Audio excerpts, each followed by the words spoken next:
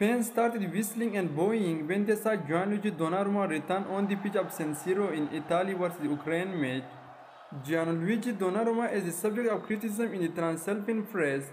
He is notably criticized for not having progressed in his departure from AC Milan for Paris Saint-Germain in the summer of 2021.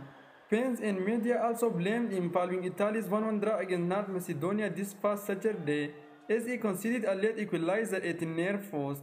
So what do you guys think?